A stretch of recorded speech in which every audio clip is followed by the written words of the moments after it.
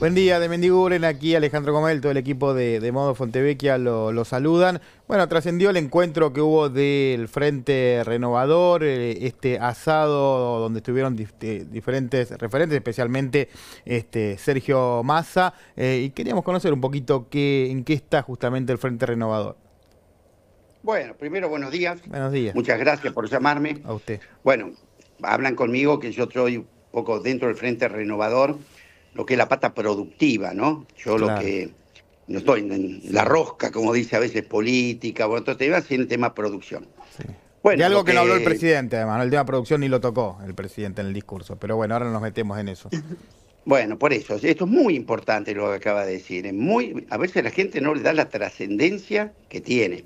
Bueno, con el Frente Renovador fue eso, juntar a los todos los diputados, concejales, dirigentes, para precisamente hacer un repaso de la situación.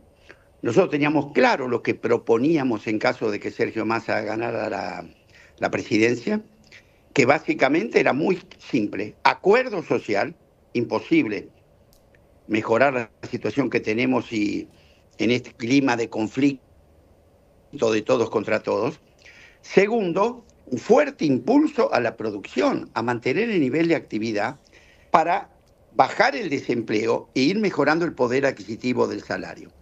¿Y por qué? Porque estamos convencidos que Argentina, lejos de estar en una crisis terminal, está en un periodo con una posibilidad de entrar en un ciclo expansivo de los más importantes que ha tenido nuestra historia. Fíjese, el año que pasó, ahora mañana es Poagro, voy a estar allá, bueno, tuvimos el terremoto, el cataclismo de una seca que nos sacó la cuarta parte de todas nuestras exportaciones. Calcule lo que es esto en un país que venía con situaciones. Esto ya este año cambia.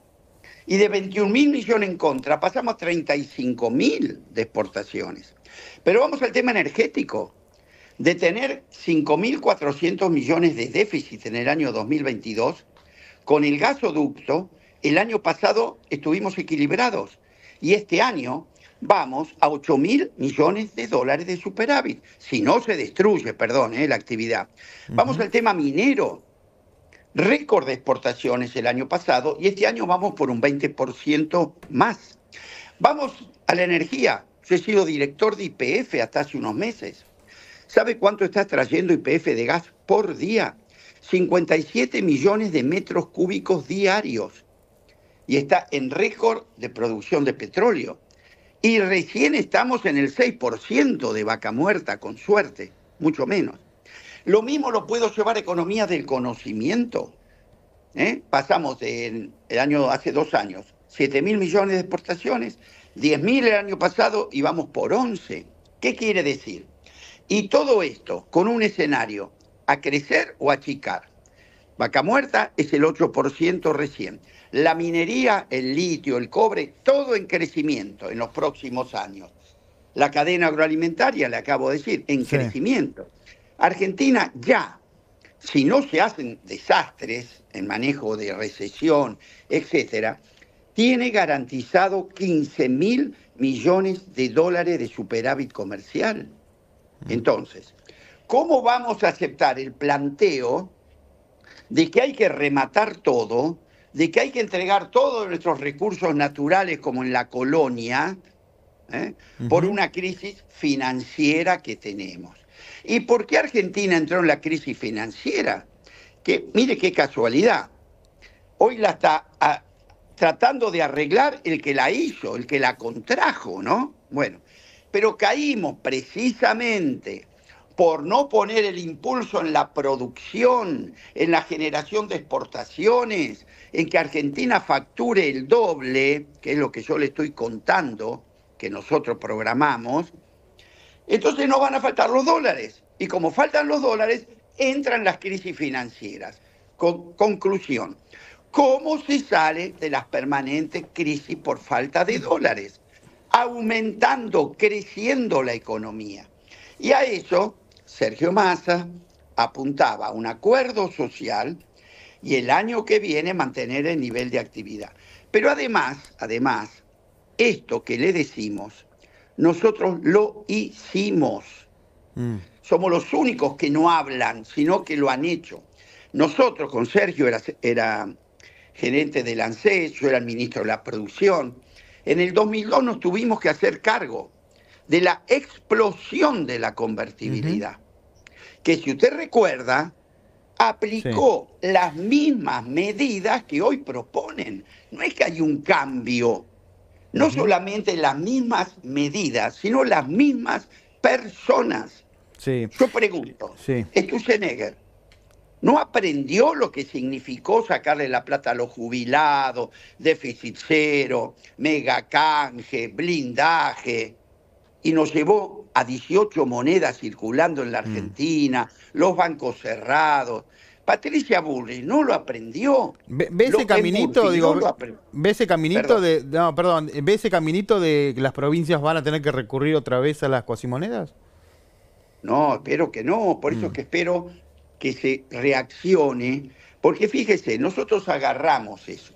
También nos proponían dolarizar la economía, ¿se acuerda? Privatizar el Banco Nación. ¿Le suena todo esto? Sí, sí, sí, ¿Eh? sí, sí, me está llevando Generar una banca offshore. Y nosotros hicimos una alianza con la producción, por eso yo fui el primer ministro de la producción de la historia argentina a nivel nacional. ¿Sabe cuál fue el resultado? Pasamos de la peor crisis social, política y económica al periodo de crecimiento más largo de la historia argentina 2002-2011. Después hubo desvíos, pero con tres patas, tipo de cambio competitivo, baja inflación y superávit, Argentina creció 78% del Producto Bruto, se desendeudó. Entonces, mentira mm. que no hay otro camino exitoso. Vasco, Entonces, sí. Sí. No, no, tengo acá a mi compañero, tenemos poco tiempo y lo tengo a mi compañero Claudio Mardones que le va a hacer una pregunta. ¿Qué tal? ¿Cómo, le va de Mendiguren? Buen día. Bueno, teniendo en cuenta su experiencia y también su rol en el Frente Renovador, no pierdo de vista que, bueno, en Roque Pérez se reunió todo el Frente Renovador, estuvo Sergio Massa, definieron un Congreso Nacional, si no me equivoco, para el 22 de marzo. Pero bueno, eh, quiero consultarle sobre la coyuntura bonaerense. Dentro de cinco, eh, cinco, horas el gobernador Axel Kisilov va a estar haciendo, eh, protagonizando la apertura de sesiones ordinarias del legislativo bonaerense y en este contexto posiblemente tenga la última palabra, la respuesta al anuncio del presidente de, este viernes. Quería preguntarle cómo llega Axel Kicillof en este momento y cómo viene el esquema del peronismo provincial detrás de la figura de Kicillof para este escenario que se viene.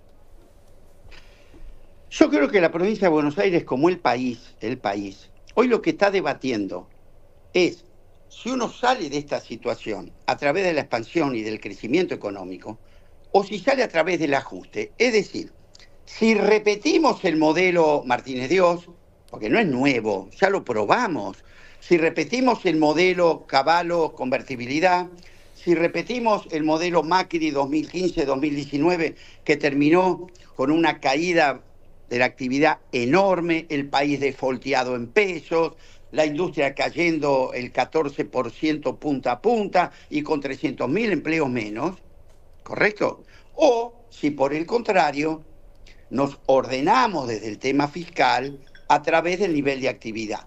¿Por qué? Insisto, las provincias lo tienen claro. Cuando usted va a un plan de ajuste, es como la ley de gravedad. ¿Qué hace? Se cae el nivel de actividad, se cae el nivel de empleo. Cuidado con el desempleo porque nosotros, es verdad, no pudimos resolver tener el poder adquisitivo del salario, pero bajamos al desempleo al índice más bajo de los últimos 15 años. ¿eh?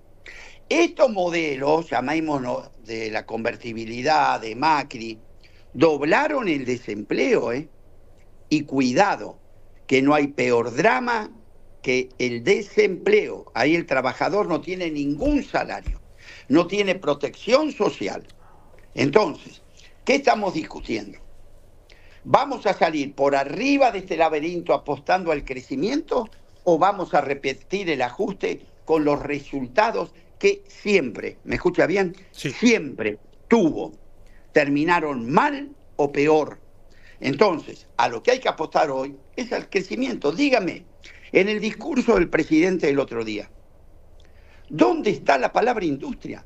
¿Dónde está la palabra producción?